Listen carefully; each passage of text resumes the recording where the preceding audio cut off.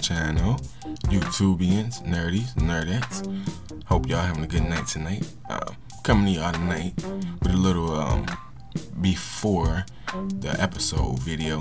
My little thoughts about it. Um, I know Vegeta is gonna get put out, but uh, hopefully we'll see him do a little something, you know, to Jiren, you know, hopefully expose something so Goku can at least have a possibility, you know what I'm saying? Have my boy looking like this right here, you know, at least he get some type of uh, opening or some type of weakness he can exploit for my boy Goku to come up on in and do something, you know, but uh, I'm thinking that this is going to have to be the catalyst to Goku mastering that form because right now, as y'all can see, Jiren is incredibly powerful and it's looking like there's no way that neither one of them can stop him.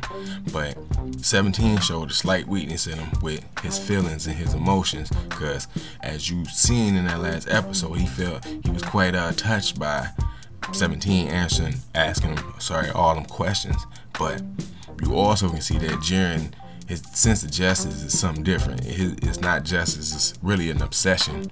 He just so obsessed with not being weak that he basically put aside all emotions and anything that you can even care about just so he can consistently get stronger without having uh, no interference, which is, I don't know what type of plan it is. I call it insane, but some people think it's a good idea, but we'll see how it ends for him.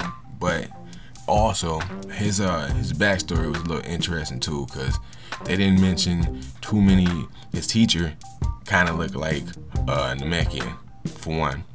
Uh they didn't really mention who the people that he fought with were but they did mention that you know he fought with some people. Um they also didn't mention who the evil entity was that took everybody out plus him. And I wonder if his wish is to find that dude so he can finally destroy him, or he could just get an explanation out of why or what happened, or he could just fight him, period.